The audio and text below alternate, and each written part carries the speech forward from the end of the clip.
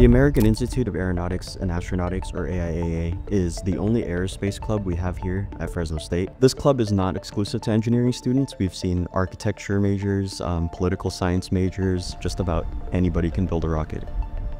AIAA is actually a national organization. It's a professional organization for engineers that focus on aerospace studies. So we're a student branch of that. In 2019, we started working with drones. Eventually, we shifted into rocketry around 2021. This club kind of provides that practical experience, which isn't something you typically get in class.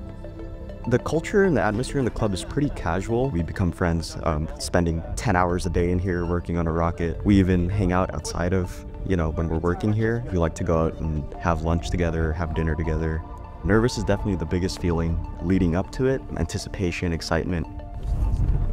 For the most part, the rockets that we build come from kits. They're kind of pre-manufactured parts. So you have to assemble all the structures. Uh, you assemble your parachute, you put in electronics if you need them. And when you arrive to the launch site, that's when you assemble your motor. We drive down all the way to the Mojave Desert for launches. We try to arrive by 8. Um, we need to set up all our stuff, our equipment to get ready on site. You'll take your rocket over to the launch rail. You load your rocket up into there, connect a car battery basically with two wires up to your motor. You go back to the launch area, you make sure there's no clouds directly above your rocket and that there's nobody walking around the field.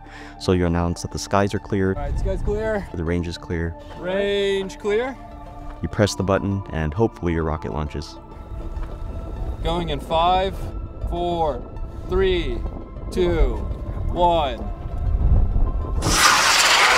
Once that rocket actually makes it off the ground and you see it fly into the sky, it's probably the coolest feeling ever. Yeah!